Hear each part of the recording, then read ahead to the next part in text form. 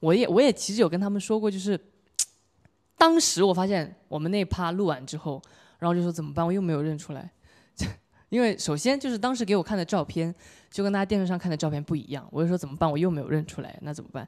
能不能就尽量就不要给我播出去？因为我觉得这样大家会觉得很很很烦嘛。就如果第一次看见我没有认出像我们雨琦老师，然后他们会觉得哦挺好玩的，然后第二次没有认出年轻时候的明星们，他们就哦也理解吧。第三次又没有认出万茜老师，他们会觉得很刻意，但是我真的没有，我真的真的没有，就是哎，好像这样越解释啊越解释不回去。就我的意思是说，我真的就是我真的认识他们，但是当时那个情况可能又起得太早，又很懵，哎。理由越多，解释的越多，就是我真的认识你们，我真的不是故意的不认识你们。对，你在台下一直在跟，有很多歌你都跟唱了，然后有没有哪首你是跟唱的最熟练？那应该是《漫步人生路》，对，因为我自己也有在一个找一个机会唱过，所以特别喜欢。你刚才为几几位艺人打过 call 了？每一位，每一位，印象最深的应该是林子祥老师，就哇塞那个。状态和那个舞台魅力，你就在下面就是不停的，因为大家都镜头都在就是都在舞台上嘛，然后就在那边，好，就我整个的棒，哇塞，这就是我在下面观看整个晚会的感觉。好，谢谢准备了一些问题呢，我们直接进入提问环节。来，请老师提第一个问题。哦，那个师生，我想问一下，就是去年你尝试了唱跳。啊，对不起，你们手机完全换了款，要我说对不起。是这样，我想问，去年有尝试了唱调吗？那在二零二生活都不容易嘛。那在二零二一年有什么想要学习或尝试的新技能吗？我这这就是简直是让我在这立 flag。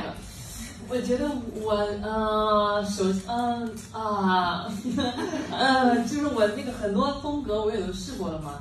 然后你看唱跳我都试过了，还要再挑战，会不会有点吓人？试试吧。但是最重要的还是发那么多好听的歌给大家，希望能够赶紧把专辑做出来给大家见到。对。那你有想要学习的新乐器之类的吗？新乐器哦，乐器的话倒是可以精进一下，比如像吉他和键盘，我觉得到时候在一些演出场合上都可以慢慢的把它现场弄个搞个弄做起来。好，谢谢。好，谢谢你。想问一下，这这接下去还有什么想挑战的新曲风吗？曲风？啊，呃，抒情的唱过了，然后比较恐怖一点的唱过了，比较不那么恐怖的也唱过，然后慢歌、快歌，然后比较嘶吼的也唱过了，然后比较比较高高扬的，哇，我还有哪个曲目没有唱过吗？儿歌。儿歌。那好吧。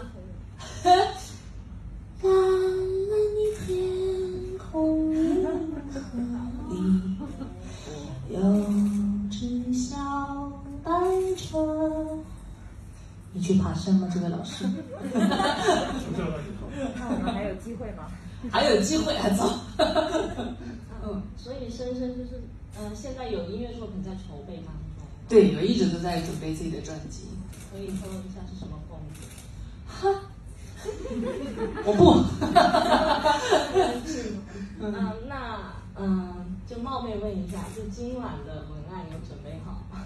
哦，您说那个感感谢的台词有哎，但是上去啊，我准备了大概就准备了这么长一段话，上去就说了 那么一段，因为我们上去大家都要完整的说出腾讯音乐娱乐集团，所以就一直在想腾讯音乐集团，腾讯音乐集团，腾讯音乐集团，就把后面那段话忘掉了，没有在这补一下，就希望大家都能够。就是找到自己真正喜欢的那个自己啊，和光同尘这个样子。而且，还就是因为我今天上场之前，我有一段念白，然后我一直都很紧张，然后一直在复习，然后觉得应该不会错，然后上台就超紧张。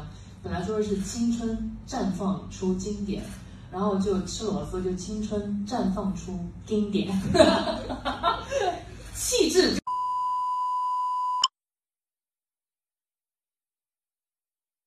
我今天的穿搭。首先就是黑色，虽然很多人都说我穿白色比较好看，但我觉得黑色会更显得低调一点点，而且衣服上会有那个荆棘的元素。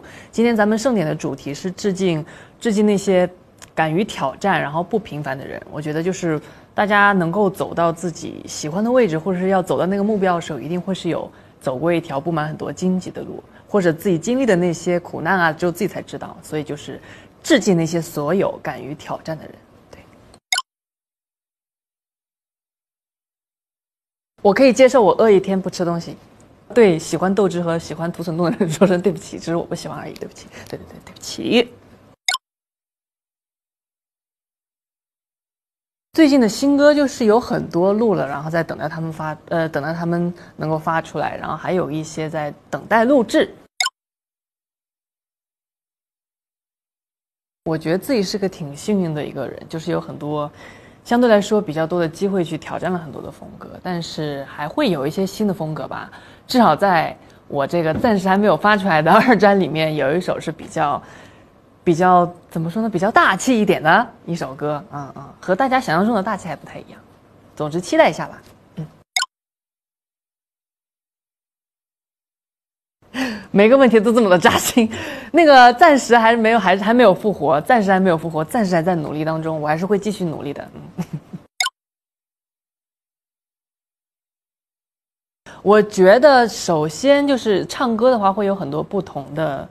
不同的共鸣共鸣腔，所以相对来说就是要符合他的那个歌的风格一点点吧。还有更多就是，如果是唱影视剧歌曲的话，你要更多就符合他的故事。如果他是比较硬朗的，然后包括他断气方式啊，怎么样都会不一样。所以我觉得，相对来说就根据歌的风格来。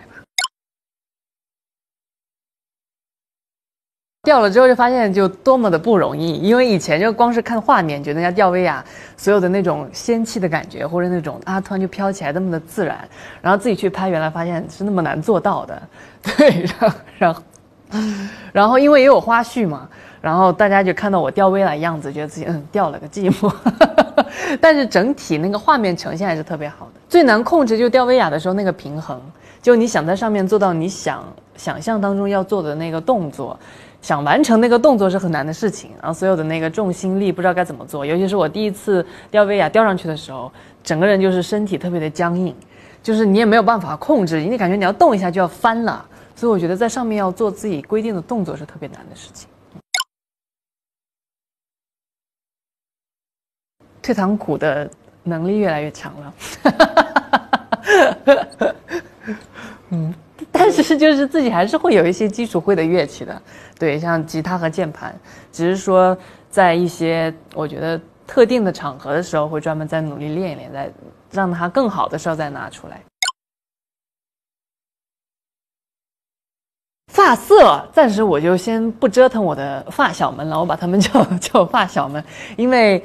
呃，本来头发就不是那么的特别的茂密，现在处在一个够用的状态，就先让让他们好好的休息，就发色就先，因为而且我自己其实很喜欢黑色，包括别人我也是很就很喜欢黑色头发发型，因为怎么说呢，好不容易找到一个比较适合自己的两三个发型，挑战的话，大背头绝对是一个特别挑战的事情，但是不给自己立这个 flag 了。一直以来特别喜欢是看电影啊、看电视剧和唱歌，但是怎么说呢？偶尔也会跟朋友们出去玩一下吧，可能玩一下像走一下密室啊，或者走一下剧本啊什么之类的。然后我对剧本杀最大的体验就是哇，给了一大堆资料，感觉特别像加班一样，因为剧本杀时间一般都特别长，但是如果沉浸进去的话，还是很好玩的。呃，天冷了是一定要穿秋裤的，但是因为最近还没有到我觉得非常冷的那个程度，所以还暂时还没有穿。但是如果感觉冷了，是一定一定一定一定一定要穿。过年的话，会应该会回去陪爸爸妈妈吧？对，放假的话就是过年大家都在休息啊，就一定会在家休息。我现在其实发歌不太会紧张，就发影视剧的歌的话不太会紧张，因为我觉得。